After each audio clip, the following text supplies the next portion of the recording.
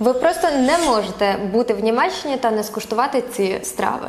Друзі, вітаю вас на каналі. І сьогодні ми зібрали 5 найсмачніших страв Німеччини, які треба обов'язково спробувати. Приємного перегляду. На п'ятому місці біла ковбаса. І ось вам моя порада. Якщо ви захочете спробувати вайсвурст, то краще робіть це до 12 години дня, адже робити це пізніше вважається некультурно.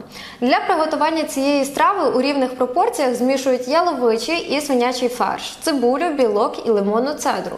Згідно з історією, вперше цю ковбасу приготував у 1857 році один із м'ясників Мюнхена, і з того часу її склад не змінювався. До речі, зараз біля дверей закладу, де вперше з'явилася ця ковбаса, встановлено фігуру кухаря з пам'ятною табличкою. Четверте місце фальшивий заєць. Це м'ясний рулет або запіканка зі свинячого та яловичого фаршу, картоплі, цибулі, яєць і спецій.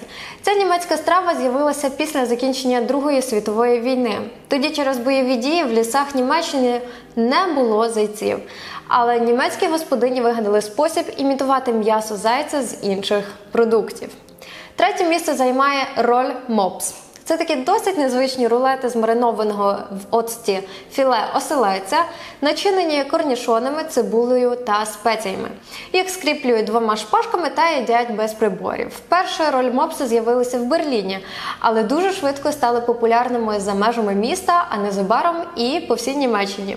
Назву цієї страви можна перекласти як загорнутий мопс. Звідки ж взялася назва? Виявляється, у 19 столітті в Берліні була мода на мопсів, а ці рулети нагадували німцям мордочки цих собак. Друзі, пишіть у коментарях, чи хотіли б ви спробувати такі рулети.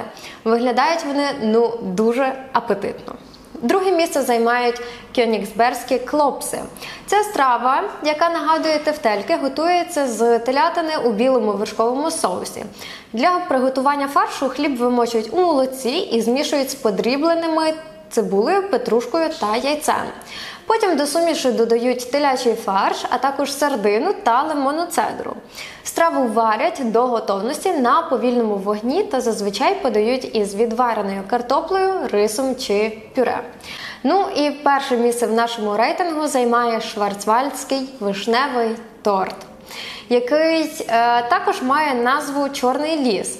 Це торт зі збитими вершками та вишнею. Цей німецький десерт відомий у всьому світі.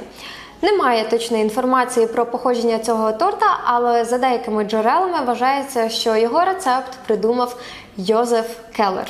По суті, шварцвальдський вишневий торт складається з кількох шарів шоколадного бісквіту з вишневою начинкою та збитими вершками. Ідеально смакуватиме як десерт до кави. Друзі, на цьому в мене все. Дякую за перегляд. Пишіть у коментарях, яку страву ви вважаєте найкращою.